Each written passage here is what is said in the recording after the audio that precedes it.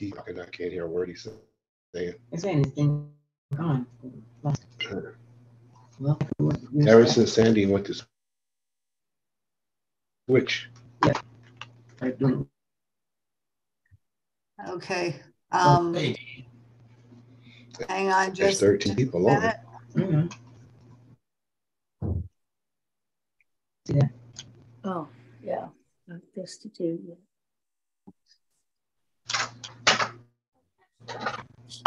Hang just-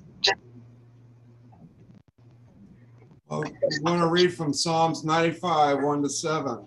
Oh, come, let us sing unto the Lord. Let us make a joyful noise to the rock of our salvation. Let us come before his presence with thanksgiving and make a joyful noise unto him with psalms. For the Lord is a great God and a great King above all gods. In his hand are the deep places of the earth. The strength of the hills is his also. The sea is his, and he made it, and his hands formed the dry land. Oh, come, let us worship and bow down. Let us kneel before the Lord our Maker, for he is our God, and we are the people of his pasture and the sheep of his hand.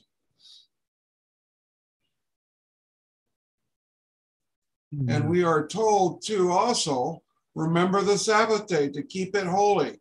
Six days shalt thou labor and do all thy work. But the seventh day is a Sabbath of the Lord thy God.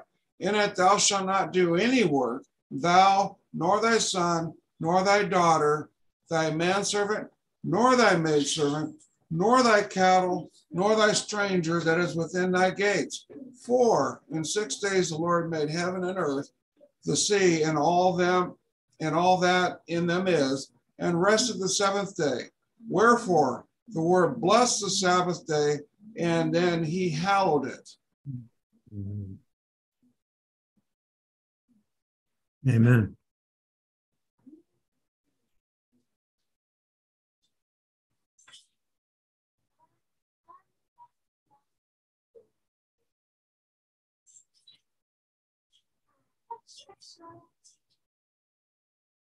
So Sandy, are you ready for Dean to start? Yes, I had my mute on. Go ahead, Dean. Okay. I need a little coaching again on, uh, is it share screen?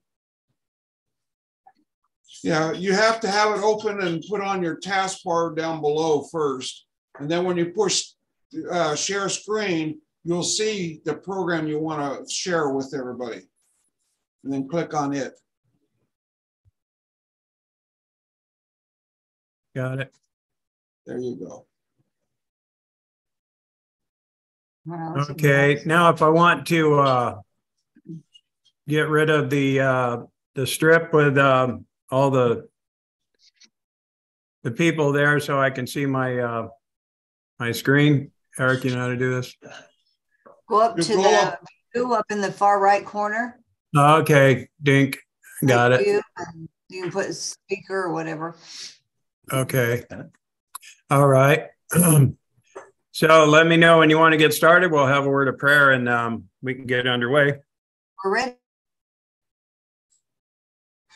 Okay, Heavenly Father, I want to thank you for the opportunity to open and share your word and also see how it ties in with the events that are taking place all around us. Um, we know that your word is relevant, uh, not only throughout history and um, to the first and uh, all the way through the second advent. And we ask that you would please bless with the power of your spirit to lead us and guide us into all truth and uh, help us to know through your grace, through your spirit again, how to relate to the things that we see around us and to be useful to you in your service all the way through to the end. But we do thank you again and thank you in the name of your son, Jesus Christ. Amen. Well, Dean Ferrell, of course, Second Advent Herald. And what I wanted to look at is uh, an interesting topic that's uh, been on my mind off and on quite a bit more lately. It's called the morality of walls and borders. and this will be part one. And uh, with the things that are taking place all around us, uh, there's there's more uh, to it than meets the eye as well. But I have an opening text, a couple actually, uh, Jeremiah chapter 21, verses 4 through 6. It says, Thus saith the Lord God of Israel, Behold, I will turn back the weapons of war that are in your hands, wherewith you fight against the king of Babylon and against the Chaldeans, which besiege you without the walls. And I will assemble them into the midst of this city, and I myself will fight against you with an outstretched hand and with a strong arm, even in anger and in fury and in great wrath. And I will smite the inhabitants of this city, both man and beast. They shall die of a great pestilence. Now, I know that wasn't, pardon me, a chipper cheery uh, passage, but as we look at the principles that um, we will hear, we see some parallels between America and also Israel of old. And Isaiah 49, verse 16 and 17. Here's something a little bit more positive. It says, Behold, I have graven thee upon the palms of my hands. Thy walls are continually before me. Thy children shall make haste, thy destroyers, and they that made thee waste shall go forth of thee. Amen. And one more, Zechariah chapter 2, verses 4 through 8. It says, Jerusalem shall be inhabited as towns without walls for the multitude of men and cattle therein. For I, saith the Lord, will be unto her a wall of fire round about, and will be the glory in the midst of her. Deliver thyself, O Zion, that dwells with the daughter of Babylon. For thus saith the Lord of hosts, after the glory has he sent me unto the nations which spoiled you, for he that touches you touches the apple of his eye. Are you the apple of his eye? uh, has he graven you upon the palms of his hands? Um, there's some positive that's in this, but we also want to look at um, all sides of this issue, uh, both sides of the wall, so to speak. And what I want to do again is look at uh, recent and current events. And uh, we're going to look at the need of morality um, or the morality of secure borders and walls. And I want to go through biblical histories and biblical promises and prophecies and even theologies relating to building moral walls and tearing down immoral walls. And so I want to start with some fairly uncomfortable current things. But, you know, for the last few years, we've heard from the academics in the universities and Black Lives Matter, Antifa, even radical illegal aliens uh, in the street shouting, defund the police, abolish ICE, no border, no walls, no USA at all. You've heard those chants over the last few years.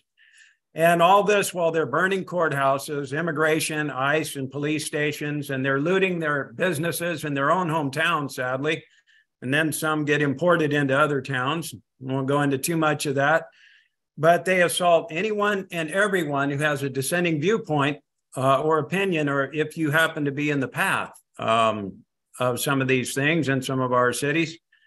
And I call it anarcho Marxism. And the sad thing is that it it seems to resonate with World Economic Forum uh, policies the papacy, the UN, and of course, the sad thing is our mainstream media. And you see the, the fruit of it in our blue or sanctuary cities. And what is really interesting is the uh, Department of Justice and the present occupiers of Washington, D.C. seem to give the people who are doing these things a pass. And you wonder what is going on. It seems that justice is absolutely inverted. And it is. And there was a debate a few years back where the man who now is an occupier of the White House said that day one of his administration, there should be a surge at the southern border. And there was a surge at the southern border. And we know from looking at these different colored bracelets that these hordes of people that were coming up um, were brought in by drug cartels, which we know um, have uh, been backed by the Chinese Communist Party. And um, that surge at the southern border, well, the drug cartels, the human traffickers, and narcotics traffickers, they all agree. And there was the surge, and it continues to surge. But interestingly, as I mentioned before, it seems to resonate with certain organizations. Um, one who uh, abides in the Vatican said that Christians don't build walls. And um, also, we saw a wall going up all around our capital. And um, from within that Capitol building, there were people that were saying that border walls are immoral. So, again, we're looking at the morality of walls. And we're going to look at a few fairly painful subjects. Um, if you want to research this, this is an older report from 2021. It's um, Media for Humanity blog. And um, again, it was from uh, 2021, and they have pictures of what's called rape trees. And I'll just read some of the report. Recently, a UN report found that nearly 70% of all females crossing the border without a male guardian are sexually assaulted, mainly by their coyote or person hired to lead them across. According to sheriffs, border control groups, and Americans residing on the border, many coyotes make the abused girls hang their undergarments on trees to exacerbate their shame. These trees are disgusting trophies, which coyotes use to compete against each other. Uh, many quote unquote rape trees, uh, as these trees have come to be called, display dozens of undergarments, which are commonly found ripped or torn because many of the victims are violently gang raped. And this is uncomfortable stuff, but ignoring it isn't going to make it go away going back to the article. But perhaps the most heart wrenching aspect of this barbaric evidence is the sight of small children's underwear and training bras, signifying the sexual abuse of young girls. This violence and despicable practice must stop now. Regardless of their legal status, these rapes are occurring on our soil. So, on our side of a very porous border, and probably the one that made me the angriest I just saw in the last few days that a raped eight year old migrant girl had 67 DNA samples inside her. She was unable to talk. Um, it, um, it gets to me. And uh, this just is not uh, misplaced compassion uh, for people that are seeking asylum here. There's something very sinister going on, and it's and it's known by people in power. And there seems to be very little, if not nothing, being done about it. Um, so, what if, again, I want to look at this on a national level. And first, I'd like to take from our uh, Creator Redeemer's words in Luke 17, verses 1 and 2. He said, It is impossible, but that offenses will come, but woe unto him through whom they come. It were better for him that a millstone were hanged about his neck and he were cast into the sea than that he should offend one of these little ones. Now, that's on a personal level, on an individual level. What if it takes place on a national level? Would you say that a nation that allows this, that does not do all they can to stop it, would be howling for judgments. And we are, friends, we are. Uh, I know I've commented on um, an Angel um, Studios production not too long ago. Uh, I don't care for some of the things that are behind The Chosen. Um, but this particular video uh, that I want to show you a trailer of was put together, um, but they couldn't find um, companies that would actually put it out there, but it's going to be released July 4th. And um, Angel Productions took it. And, um, you know, even a broken clock can be right twice a day. So I want to just watch this just for a moment.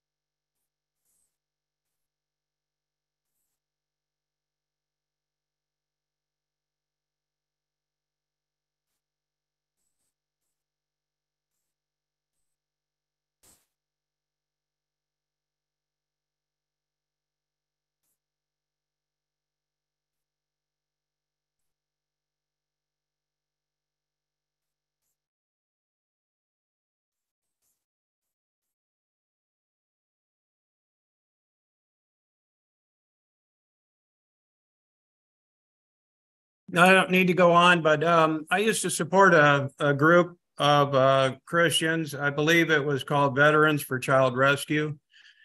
And they got attacked by different uh, media agencies and also credit card companies where they got defunded. You couldn't even support them. And it has come to our shores. You don't have to go to Brazil or any place else to find them. And you find it in Revelation chapter 18, where you see that the merchandise uh, goes from gold and silver and down the line until it comes to the bodies and souls and slaves of men. And we're there. And there's a, a millstone that's mentioned in Revelation chapter 18 for Babylon. Um, but we have an amazing level of complicity in this country with various levels of uh, the Department of Justice, whether it be Hollywood. You just go down, it's pervasive throughout our society. And we're, this is another sign of the times that we are definitely, definitely in big trouble as a nation. And, uh, you know, without going on, that's going to be released July 4th. And I have this strange thing in me that makes me very defensive of um, old people and children, and it just drives me crazy when they get abused. Um, but there's millions of them, and it's happening right here in America. And we not only need to be in prayer, but we need to actually pray for those people that are willing to step up and do something about it. If you don't mind me saying that. Um, but that's not the only trafficking that's going on. We've got uh, government, corporate government, uh, pharma, media interests that are coercing people, coercing our citizens. Uh, they built walls, so to speak, around dissenters while undocumented migrants were welcomed in virtually unrestricted.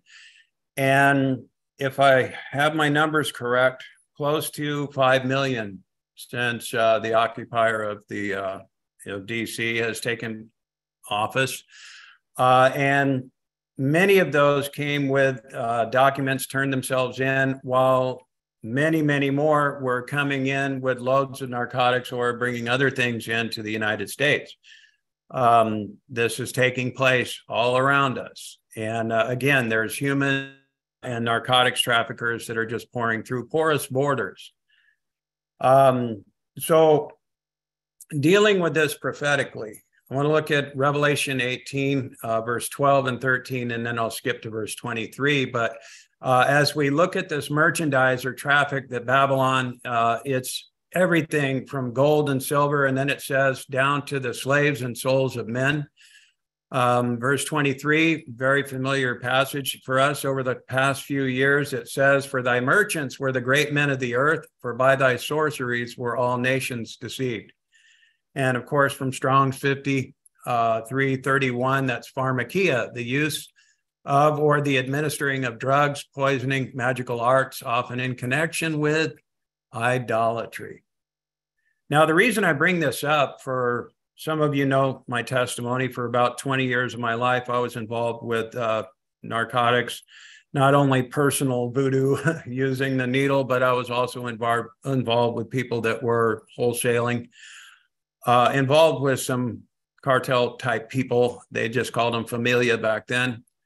Um, but I saw and I thought that that text applied to that, but it's not only that.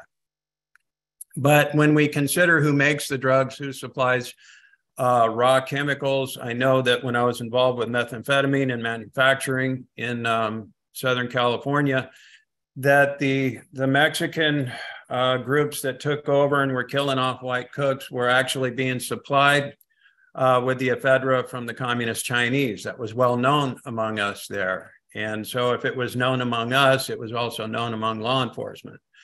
But it's um, it's global, friends. This is a big deal. And when we consider who makes the drugs and the unscrupulous politicians and propaganda media that's bent their energies to over the last few years we saw citizens locked down or locked out businesses closed uh, collapsed economies supply chains. Um, you can look at how that's affected the world. Um, the numbers of people that have starved to death because uh, what happens in the first world affects the third world. Um, this isn't just here. But while all these things were taking place, um, we had open borders and sanctuary cities that were wide open, and the increase of the illicit drugs uh, and cartel activities on both sides of the border were being allowed to take place.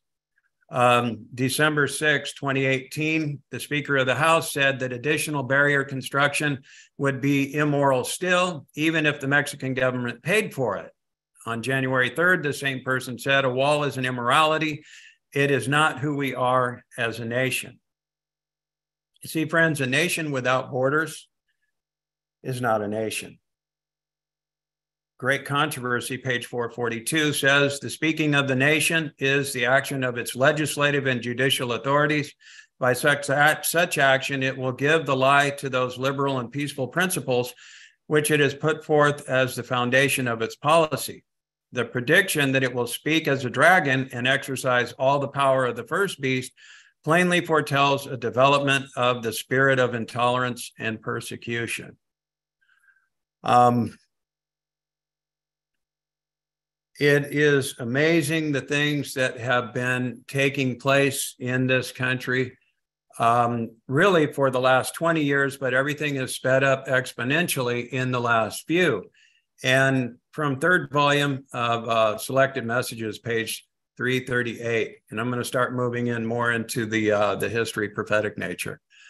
It says each of the ancient prophets spoke less for their own time than for ours, so that their prophesying is enforced for us. Are they, excuse me, and they are written for our admonition upon whom the ends of the world are come. Not unto themselves, but unto us did they minister the things which are now reported unto you. So uh, we saw this taking place in Europe um, with a major push of Islamic immigration, um, people that did not assimilate. Uh, they didn't love the country or even appreciate the countries that they were flooding into. Uh, and we see it in post Christian America. It's called anarcho communism, and it's fully supported by Rome. And I believe it's incurring judgments uh, for generally putting up a wall between us and the true God. Is it possible? Um, yes, it most certainly is. But uh, I see this as um, a reminder of the corrective judgments on apostate Israel and Judah and surrounding nations. And uh, so, what I want to do is we're looking at the good, the bad, and the ugly. We're going to do bad news to conditional good news to very good news and know that uh, prophecy and history repeats, or sad to say, um, we repeat history. So let's look at prophecy right now. Isaiah chapter 10, verses 1 through 6, and I abbreviated this a bit, but it says, Woe unto them that decree unrighteous decrees, and to take away the right from the poor of my people, that widows may be their prey, and rob the fatherless. What will you do in the day of visitation and in the desolation which shall come from afar? To whom will you flee for help? Verse 4 Without me, they shall bow down under the prisoners. And verse 6 tells us, I will send uh, him against an hypocritical nation, and against the people of my wrath will I give him a charge to take the spoil and to take the prey and to tread them down like the mire of the streets. Well, that doesn't sound like good news, does it? Well, you know, when uh, this took place, um, those were preparations for a judgment which took them into 70 years of captivity. But this was um, a corrective judgment. And I would say personally, just looking at it, that we've done worse than Israel and Judah. And there is a lot of spirit of prophecy that parallels our uh, commission and our failure to carry out that commission with Israel. And we've actually been blessed with more.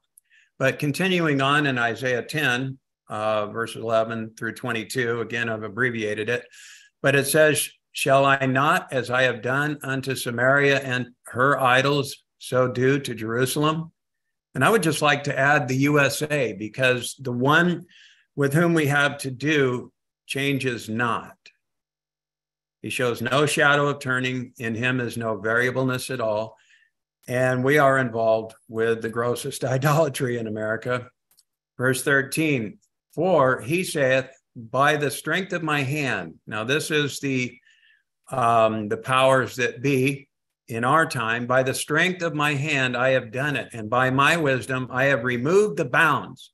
And that word bounds in Hebrew uh, is 1367. I don't have it in the Hebrew language, but it means borders. I have removed the borders of the people and have robbed their treasures.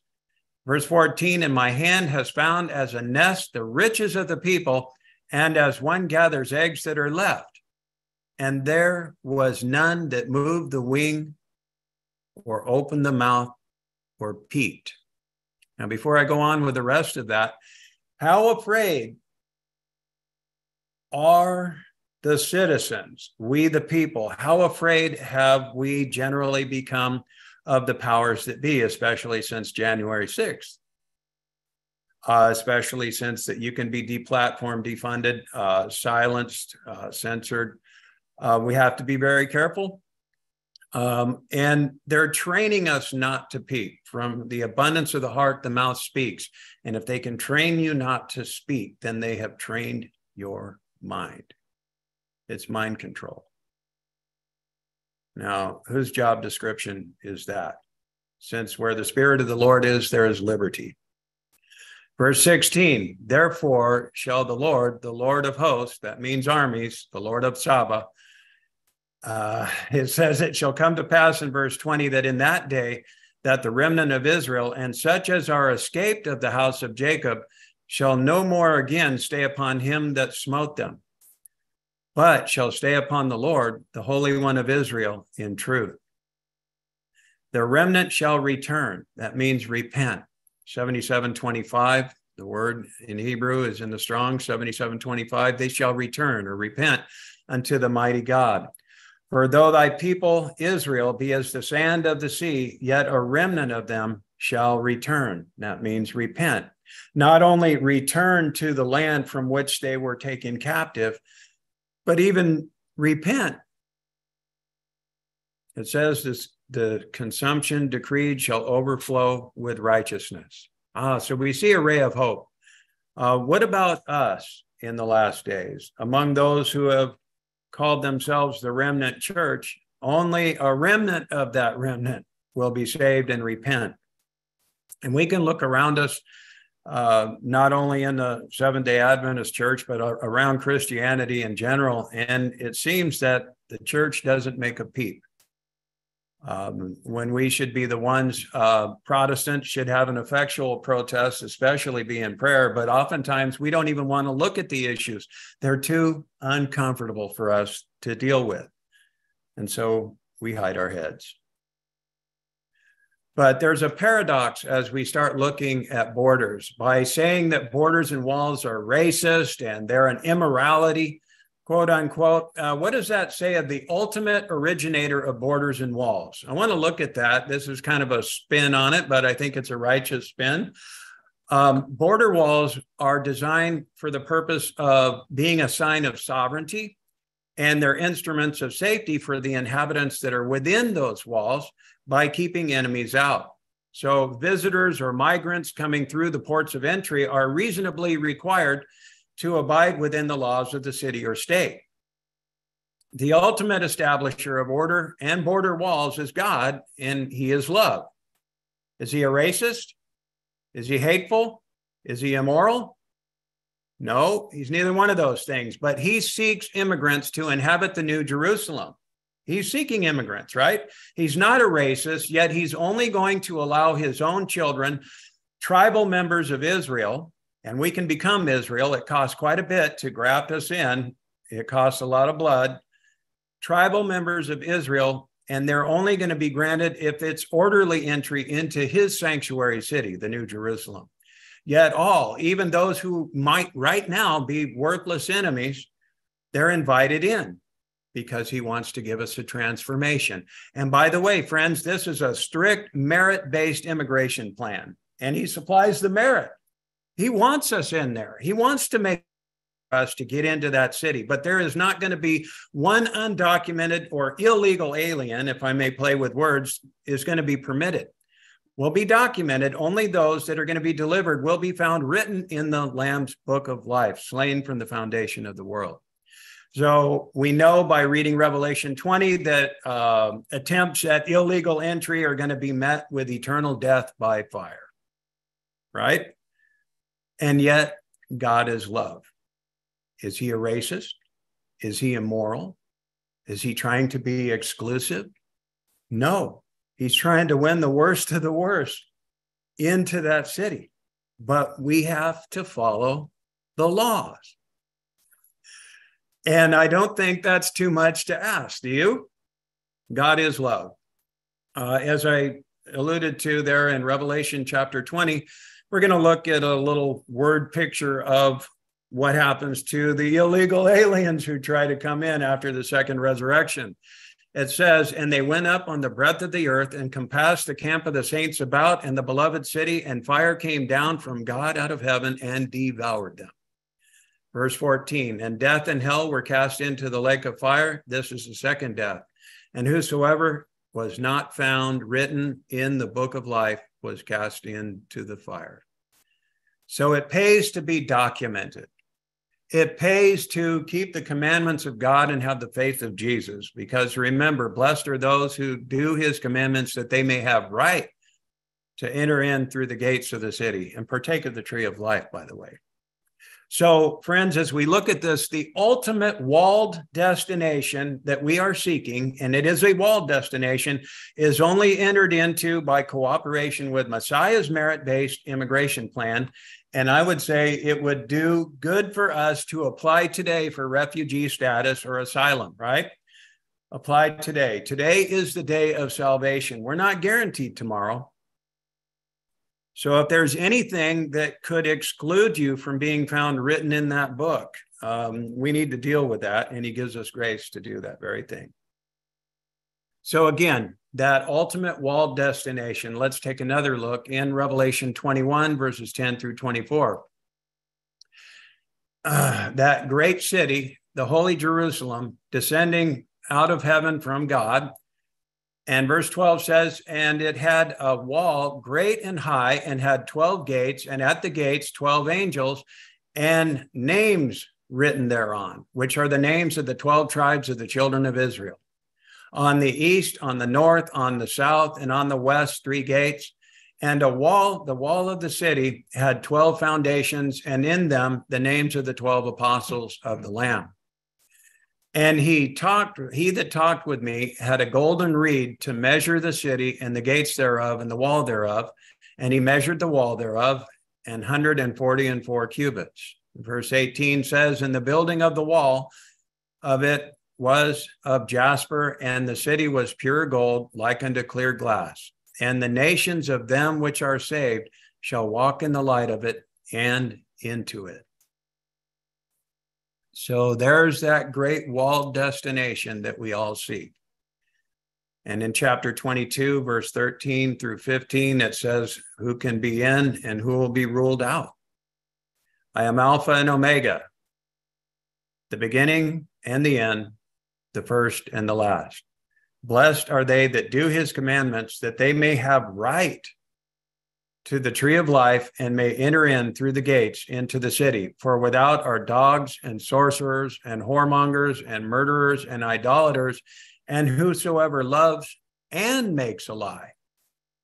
Now, notice that whosoever loves and makes a lie. You mean a person who's deceived, who loves that lie?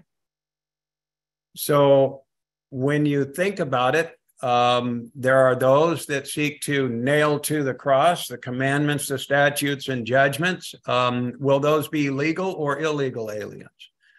With those who are not having the experience of Christ in you, the hope of glory, and Him writing His covenant in our hearts and minds and giving us His Spirit that we may walk in them, uh, will they be admitted if we don't have that experience?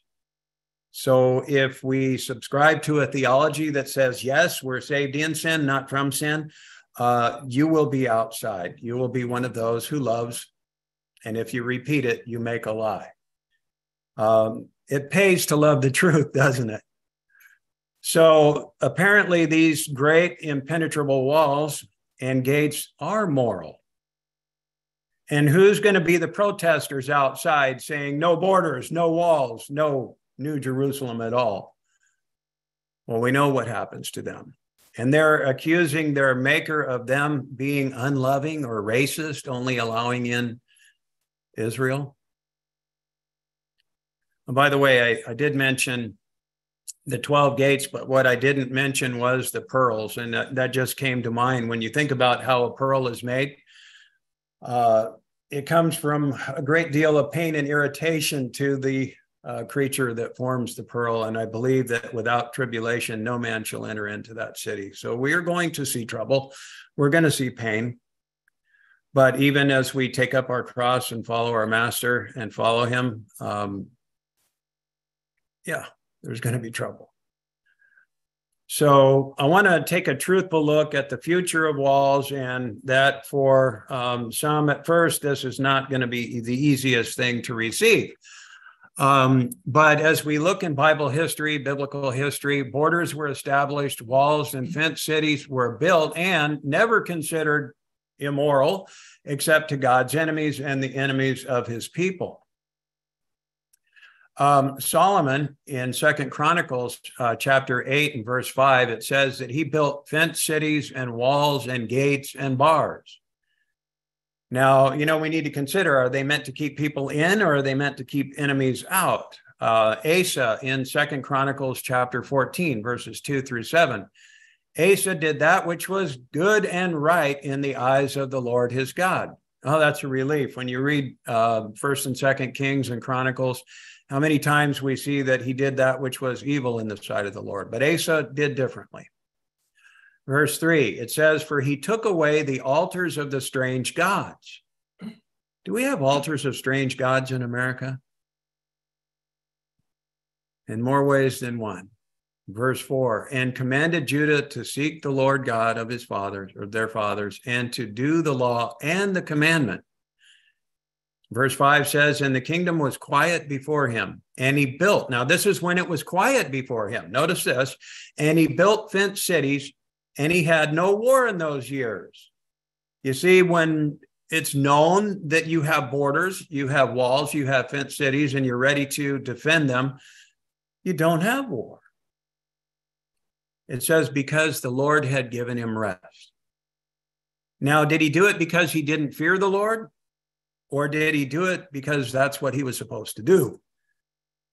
Well, verse 7, it says, Therefore he said unto Judah, Let us build these cities and make about them walls and towers and gates and bars. So they built and prospered. Built and prospered. to me, it's uncomfortable when I think about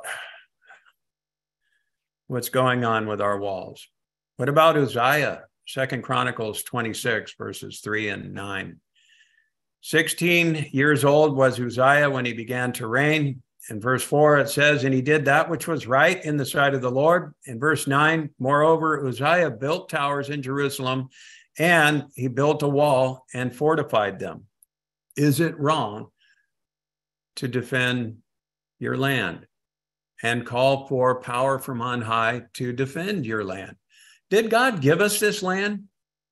Now, some would say, uh, especially in the universities and uh, 1619 Project, people that go along with the woke CRT, uh, will say, no, this country was founded on slavery. And uh, look at what they did to the Native Americans. And uh, okay, well, let's go back. Uh, with the covenant that was made with Abraham, Abram at the time, um, what was he supposed to do when the iniquity of the Amorites was full? And when 430 years later, to the very same day, which happened to be Passover, by the way, uh, what were they to do um, to certain kingdoms who had passed the line of divine forbearance? Well, we know why they became thorns in their side. They didn't complete the work that they were called to do. But Second Chronicles, we're going to look at Manasseh, um, kind of a, I would say, one whose name lives in the Hall of Shame. Uh, Second Chronicles, he actually repented uh, 33, 11 through 16. Again, I've abbreviated it, but it says the king of uh, Syria took Manasseh to Babylon. And when he was in affliction, he besought the Lord his God and humbled himself greatly. Now, just imagine Manasseh, one of the worst of the worst. But he besought the Lord his God and humbled himself greatly. If there was hope for Manasseh, is there hope for us? If we avail ourselves of the help that's offered in the hope, yes. And he was entreated of him and brought him again to Jerusalem into his kingdom.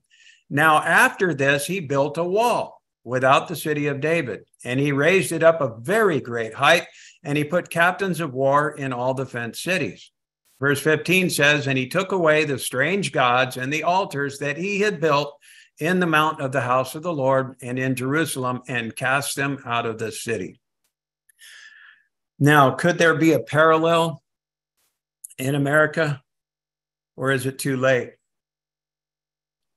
And what does it require? It requires more than a, a reawakening. It requires more than a revival. It requires a, a reformation. And many are going to get involved with a false revival and a false reformation. And we know that that's going to have anything and everything to do with worship times and laws that you and I hold dear. Um, but there are people that can be reached. If Manasseh can be reached, there's still some of these people that we need to work to try to reach before it's too late. But I believe that the, the order that we just looked at is very interesting. Manasseh, again, was one of the worst of the kings who did evil in the sight of the Lord. He humbled himself greatly, returned, repented. Then he built very high walls and prepared for war and cast out all his old false gods and altars. I find that order very interesting. Uh, borders and walls can be good, but not all walls are, such as uh, the Berlin Wall. The motives were then to keep people in that would have been blessed if they could have gotten out. But the motives or what they're built for and fortified to keep in or out determines the morality of the wall. And uh, again, just looking at the situation at hand. So prophecy here, what we want to look at is what would happen to a good wall when those within it became immoral. Uh, Isaiah 5, and I was just studying this this morning, Isaiah 5, 1 through 7. And this is a song of a vineyard. It says, Now will I sing to my well beloved, a song of my beloved touching his vineyard. My well beloved has a vineyard in a very fruitful hill, and he fenced it and he gathered out the stones thereof and planted it with the choicest vine and built a tower in the midst of it and also made a wine press therein. And he looked that it should bring forth grapes. Did he have any reason to believe it could bring forth good grapes? He planted it with the choicest vine. He fenced it. He gathered out the stones. That would be those tribes that were supposed to be displaced in order to give them the place in Canaan and he planted it with the choicest. Who said that? Who inspired that to be said? The choicest vine. Can we start out good and end up terribly? He said he looked that it should bring forth grapes, and it brought forth wild grapes. And now, O inhabitants of Jerusalem and men of Judah, judge, I pray you, between or betwixt me and my vineyard. What could have been done more to my vineyard that I have not done in it? What more could he do? Wherefore, when I looked that it should bring forth grapes, it brought forth wild grapes. I will tell you what I will do to my vineyard. I will take away the hedge thereof, and it shall be eaten up, and break down the wall thereof, and it shall be trodden down. And I will lay it waste. It shall not be pruned nor digged, but there shall come up briars and thorns. I will also command the clouds that they rain no rain upon it. Now, at this particular time of the year, what are we thinking about when it comes to the clouds and the rain? And what is it that we're looking for? What is it that we need that he wants to pour on his vineyard, upon his people? Don't we need the outpouring of his spirit and the infilling? You know, we think of Pentecost and what it's all about, what it's to accomplish, to bring a harvest to readiness and not only to bring a harvest to readiness, but as we're filled with that, what will we do in our commission? but Israel failed of its ancient Israel. It says, For the vineyard of the Lord of hosts is the house of Israel, and the men of Judah his pleasant plant. And he looked for judgment, but behold, oppression, for righteousness, but behold, a cry. Now, from Isaiah's time, they were taken into that 70 year captivity and they were released and they built again, and that city was destroyed. So we see prophecy and history. And now, as we look at Israel, engrafted and some of the natural, um, if we fail to uphold the commission that he's given us, what can we expect? So I want to look at when they were released from captivity, repentance, and rebuilding the moral wall, and who was it to keep in or out? So Nehemiah, we look at chapter 4, verse 1, 2, and then we'll do 17 and 18, again, selected parts.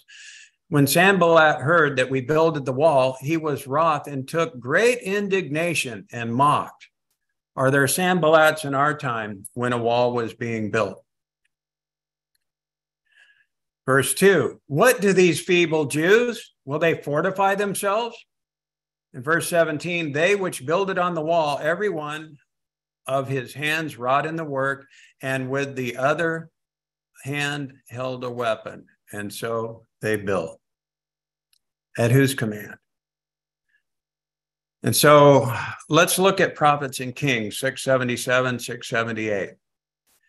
The spiritual restoration of which the work carried forward in Nehemiah's day was a symbol. I supplied the word that describes a people who, in a time of general departure from truth and righteousness, are seeking to restore the principles that are the foundation of the kingdom of God. They are repairs of a breach that was made in God's law. The wall, the what? It says the wall that he has placed around his chosen ones for their protection and obedience to whose precepts of justice, truth, and purity is to be their perpetual safeguard. In words of unmistakable meaning, the prophet points out the specific work of this remnant people to build the wall. In the time of the end, every divine institution is to be restored. Now, every means more than one, wouldn't you say? Can we agree with that? Um, divine institution. Are there any divine institutions that uh, Roman uh, elements, be it pagan or papal, have taken away? Um, actually, the power of the beast and the whore have taken from the worship of the Lamb. And yet, there is to be an a people that are going to be restoring every divine institution. I'm glad I'm speaking to some of you um, and want to encourage you.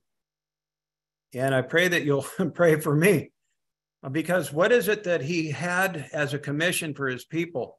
Um, let's look at Isaiah 60 and verse 10. It says, The sons of the strangers shall build up thy walls, for in my wrath I smote you, but in my favor I have had mercy on you. The sons of the stranger, we'll look at that a little bit more. But there are those that uh, once we become grafted into Israel, we are part of the plant, receiving of the root, uh, and will bear the fruit if we're attached. And so he's called us to join him in covenant connection. So, covenant converts from among the Gentiles shall help build the wall. And what is that wall in these last days? Remember, we just looked at it. It was the precepts of justice, truth, and purity that are to be a perpetual safeguard. And so we want to be about the business of restoring. And um, so let's look at that a little bit more. Um, you know, when we see that walls can be good, but not all walls are good, uh, the motives for making them, it determines everything really uh, Israel's commission was to help. They were to be a light to those that sit in darkness. But how did their report card look in respect to that? Um, their commission was to help qualify more to enter into the New Jerusalem, yet their motives got skewed and they ended up erecting their own wall and modifying God's wall, the law. And they did this with their own stones and untempered mortar of traditions of men that so obscured the Messiah's immigration plan that they could go from sea to sea, from east to west, and make one proselyte and make him twice the son of hell as themselves. That's what happens when we bring in traditions that are not of the Torah. And well, we know how that works out. So God's answer was to send his prophets uh, to help correct them. And then he sent his son, who commissioned more gospel workers with the way into the 12 gates of the city. And that also has been passed down to us. And that describes this work that we are to be about. But anciently in Isaiah 56, I'm going to read verse 1, 3, and then we'll bring it up into verse 7. Thus saith the Lord, keep you judgment and do justice for my salvation. That's interesting word, salvation there. It's pronounced Yeshua, and that's 3444 in the Strongs. For my salvation is near to come. And notice who's inclusive. I'm not talking about, um, well, it's inclusive theology. Um, he includes the stranger in verse three that has joined himself to the Lord. And verse five says, Even to them will I give in my house and within my walls. There's that word again, walls. A place and a name better than of sons and daughters. I will give them an everlasting name that shall not be cut off and the sons of the stranger that join themselves to the Lord to serve him and to love the name of the Lord Jehovah, to be his servants, everyone that keeps the Sabbath from polluting it and takes hold of my covenant. Now, before I finish with verse seven, how many people can you talk to in the regular churches uh, about the covenant and what's included in the covenant and what was taken out and nailed? hard to take hold of something that you nailed to the cross, isn't it? In verse seven, theologically, it doesn't actually get there. Uh, verse seven, even them will I bring to my holy mountain and make them joyful in my house of prayer, for my house shall be called a house of prayer for all people.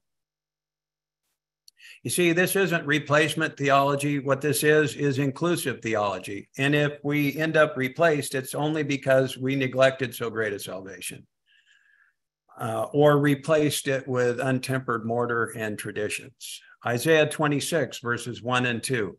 And here's a, a nice uh, bookend to that first vineyard song that ended in an ignominious way in uh, Isaiah chapter 5, that first song of the vineyard. But I love this one Isaiah 26, 1 and 2. It says, In that day, this song shall be sung in the land of Judah we have a strong city, salvation. There it is again. Yeshua will appoint, or will God appoint for walls and bulwarks. So who's your wall and bulwarks? Yeshua. Open ye the gates that the righteous nation, which keeps the truth, may enter in. The righteous nation, which keeps the truth, may enter in. How important is the truth? not only to have intellectually, but to be settled into spiritually and intellectually, to love the truth, not just have an appreciation. We're not just in a book club. But again, the nature of the walls is determined by the motives for making them and for putting on Christ, who is our bulwark, our strength. Um, here's another witness. Um, this is John 1 11 through 13. Actually, this passage was a pivotal point for me when I was uh, first studying the Bible in prison. It says, He came to his own, and his own received him not. But as many as received him, to them gave he power to become the sons of God, even to them that believe on his name, which were born not of blood, nor the will of the flesh, nor the will of man, but of God. Is that applying to you? And can it, if it hasn't yet? You know, he came to his first people, the people he first gave the commission to, and they received him not. But as many as received him, to them gives he power to become, if I may add, the sons and daughters of God. Even to them that believe on his name. And Matthew 121 says, They shall call his name Jesus, for he shall save his people from their sin, which were born not of blood, nor the will of the flesh, nor the will of man, but of God. It's God's will that we be born again. Can we pray according to that? Amen. We can, and we know that He'll hear us. We have confidence in that. James 1 17 and 18 says, Every good and perfect gift is from above and comes down from the Father of lights, with whom is no variableness, neither shadow of turning. Of his own will begat he us. Of what? His own will begat he us with the word of truth. Who is that word? Isn't that Yeshua? That we should be a kind of first fruits of his creatures. Amen. And Romans 8, 3, 4, and 9. Why did he send his own son in the likeness of sinful flesh? It's, it tells us, and for sin, he condemned sin in the flesh, that the righteousness of the law might be fulfilled in us who walk not after the flesh, but after the spirit. But ye are not, in verse 9, in the flesh, but in the spirit, if so be the spirit of God dwell in you. Now, if any man hath not the spirit of Christ, he is none of his. Whoa, that's potent, especially when you think of somebody outside the door going, especially those that feel that they're rich and increased with goods and have need of nothing, and he's outside. If any man hath not the spirit of Christ, he is none of his. But thank heavens that he is knocking on our door. He only asks us to let him in. So once the disciples really understood, uh, they set about showing all the way into the city. And, you know, if you remember, I think we talked about this last week a little bit. Um, without the uh, abilities that we have, the different tools of uh, electronic communication where we can communicate around the world. And I'm very grateful for that, but they didn't have it. It was an illegal religion, both in Israel or in Judah um, and also in the Roman Empire. And yet they could take that way into that walled city to every creature which is under heaven. And they did it without planes, trains, and automobiles. They did it without electronic communication. They did it with every conceivable and lethal threat against them. Acts of the Apostles, page 19 and 20 reads The disciples were to go forth as Christ's witnesses to declare to the world what they had seen and heard of him, to be workers together with God for the saving of men. As in the Old Testament, the 12 patriarchs stood as representatives of Israel, so the 12 apostles stand as representatives of the gospel church. During his earthly ministry, Christ began to break down the partition wall. Ah, there's another wall. Is it a moral or an immoral wall? Okay, he began to break down the partition wall between Jew and Gentile and to preach salvation to all mankind. Though he was a Jew, he mingled freely with the Samaritans, setting at naught the Pharisaic customs of the Jews with regard to this despised people. He slept under their roofs, he ate at their tables, and taught in their streets. The Savior longed to unfold to his disciples the truth regarding the breaking down of the middle wall of partition. Ah, so some walls need to be broken down, don't they? The middle wall of partition between Israel and other nations. The truth that, quote, the Gentiles should be fellow heirs, and quote, with the Jews and partakers of his promise in Christ by the gospel. That's from Ephesians 2:14 and 3:6. This truth was revealed in part at the time when he rewarded the faith of the centurion at Capernaum.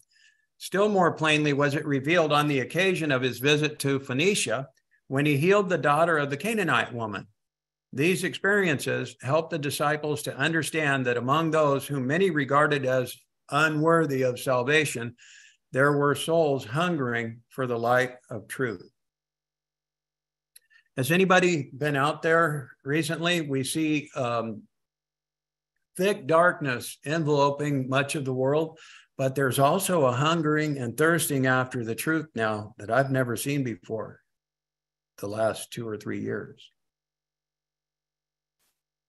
Continuing, thus Christ sought to teach the disciples the truth that in God's kingdom there are no territorial lines, no castes, no aristocracies, that they must go to all nations, bearing to them the message of a Savior's love, but not until uh, later did they realize in its all its fullness that God hath made of one blood all nations for men of men to dwell on the face of the earth, and has determined the times before appointed buzzwords there, the times before appointed, and that the bounds of their habitation, that they should that they should seek the Lord, if haply they might feel after him and find him, though he be not far from every one of us.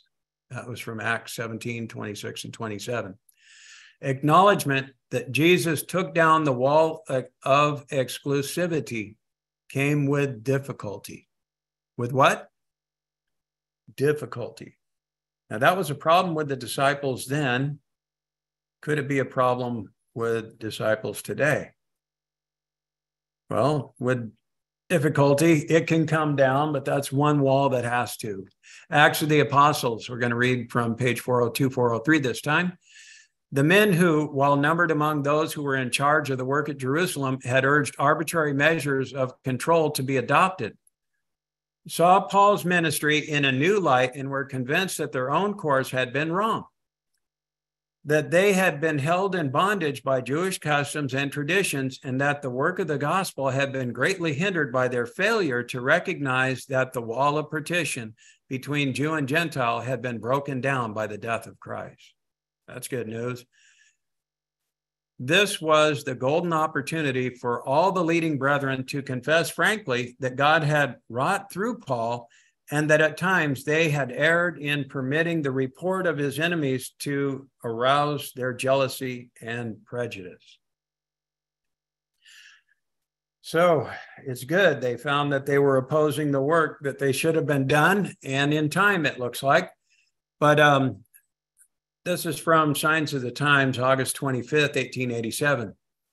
It says, At the first advent of Christ into this world, the people were favored with a new and fuller manifestation of the divine presence than they had ever enjoyed before. The knowledge of God and the infinite love and benevolence of his character were revealed more perfectly, for it pleased the Father that in his well beloved Son all fullness should dwell the middle wall of partition, there it is again, the middle wall of partition between Jew and Gentile was broken down, and both were made partakers not only of the blessings promised under the old covenant, but also the spiritual and heavenly truths revealed through Christ. The Jewish church, Jewish church with its rites and ceremonies pointing forward to Christ. Now, this is where we ought to step lightly. Many people don't, was not to be despised. This was a dispensation of glory. Now, I'm going to interrupt that quote. Many people call it weak and beggarly elements.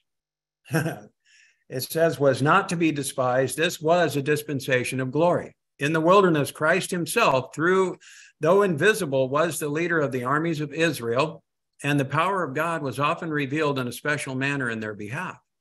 Considering these glorious displays of divine power, Moses thus addressed Israel what nation is there so great who hath God so nigh unto them as the Lord our God and all these things we call upon him for? And what nation is there so great that has statutes and judgments so righteous as all this law, which I set before you this day? How many pass over these words of Moses as though they were meaningless and continue to heap reproach and derision on divine institutions? How many trample on the divine law, the righteous judgments and statutes which were committed to God's ancient people. Hmm. Every divine institution is to be restored, but many trample on these righteous judgments and statutes which were committed to God's ancient people. We're not to continue to trample on those, but He wants us to restore those that are moral. Um, Signs of the Times, October 17th, 1895. Priests and rulers had interposed themselves between the people and God, and they sought to interpose between them and the great teacher, even as they do in this day. Think about that. How great will be the responsibility of men who seek to hinder souls from entering into the kingdom of heaven. The whole tenor of Christ's teaching was contrary to that of the rabbis. In his Sermon on the Mount, he tore away the middle wall of partition. There it goes again the middle wall of partition that separated men one from another through national prejudices and taught the exercise of a love that was to embrace the human race. Hmm. That's a good slogan. Embrace the human race. He said to the people, You have heard that it had been said, Thou shalt love thy neighbor and hate thy enemy. But I say unto you, love your enemies and bless them that curse you, and do good to them that hate you, and pray for them which despitefully use you and persecute you. Does that come naturally? Or does it have to come supernaturally? Absolutely, supernaturally. Be therefore perfect, even as your Father which is in heaven is perfect. Christ teaches that we are to recognize our neighbor in every race and condition of men. No distinction is to be made as to who is our neighbor on the grounds of poverty or wealth or position. The followers of Christ are to see their neighbor in anyone who needs their help. All ye are brethren. The Lord has not established a kingdom merely for the rich, and the one essential thing for an entrance into his kingdom is Christ likeness of character. Tall order, but who says, Let me in? It can be done, and it is his will, and we can pray according to his will and have confidence that he hears us. Isn't that true? So I kind of want to end part one um, with that. We see there is uh, morality and immoral walls and borders, and um, sometimes we set them up in the name of religion. And um, Yeshua came to tear down that middle wall of partition.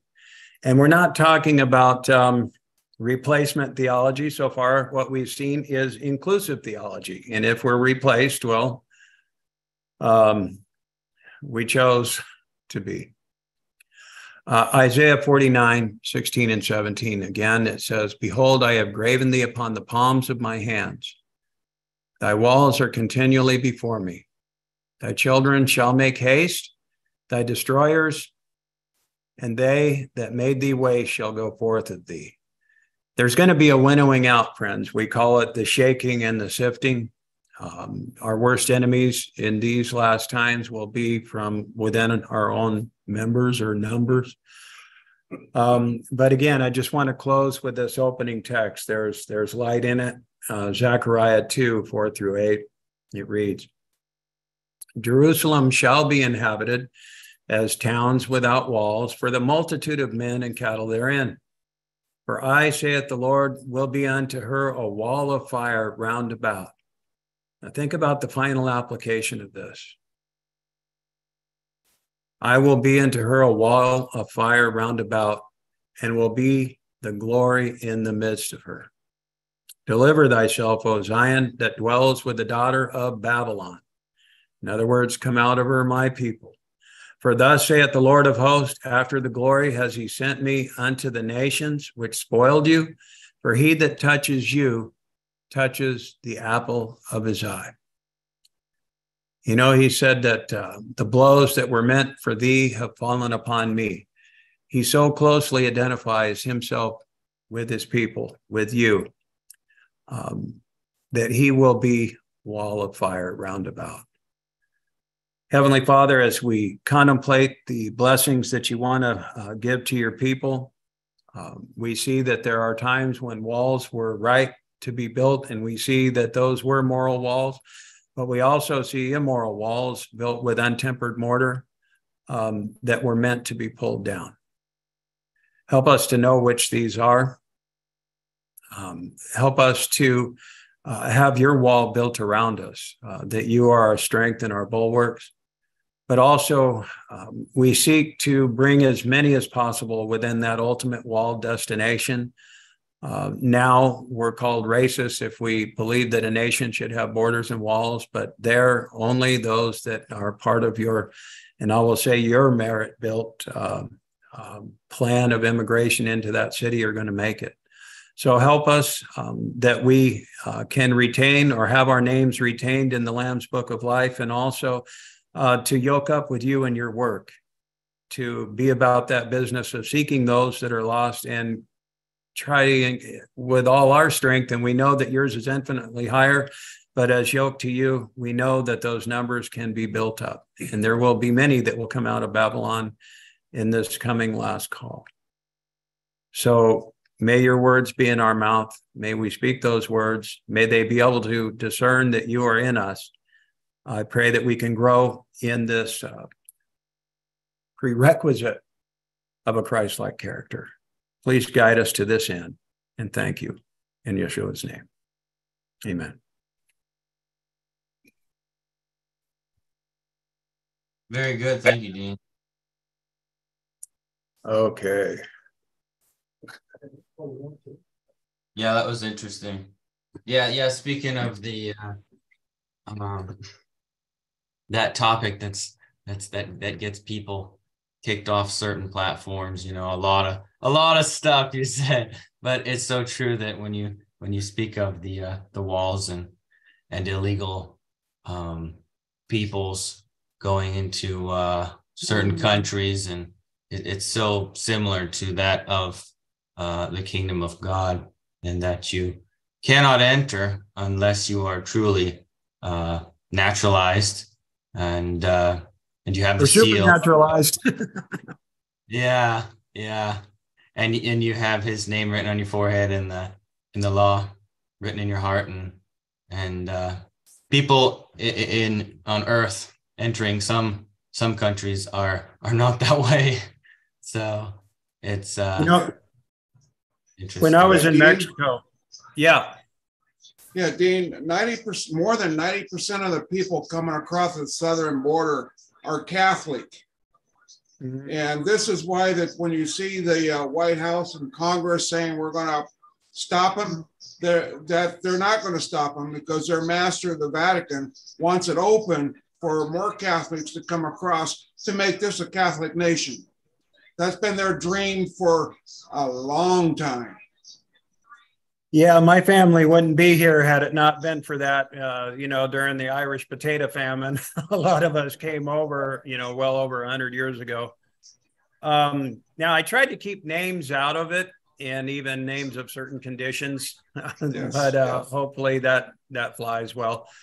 Well, But, well, um, that came that came from a, a, a YouTube that I saw about seven or eight years ago by a Catholic priest that was talking about that. Also, uh, talking about these these little girls, you know, what's not talked about at the border is that there's nurses, and everybody that comes, they're assessed for lice and parasites and everything. All the childbearing females are also given uh, a pregnancy test, and that's for that very reason that you talked about. Yeah. Um, they're saying that uh, they're taking away the DNA test to find out uh, that if the child that's coming over is actually related to the person that's bringing them. And in many cases, they're not. And um, there's an estimate of a bare minimum of, of 30,000 a month that just disappear once they come over. Uh, there's some things that I wanted to share. I mean, they're very distressing to me. I've got, I don't have any kids of my own, but I got a real heart for them. And uh, it just uh, eats me alive. But uh, it's, it's kept tamped down to where the average American doesn't know about it. There's it's just, being kept. It's being kept from them. yeah. And if they knew, you know, would there be, uh, I should hope there would be, but would there be any effectual protest? Um, and that's what Protestants are about. you don't have I to take tell- up arms. I can tell you because my wife is from the Philippines. All the medical testing they had to go through, including tuberculosis, all that stuff they had to go through before they was allowed to come to America. Yeah. You know, um, before I, I, I worked at Hope International back in 95 to 97. And when I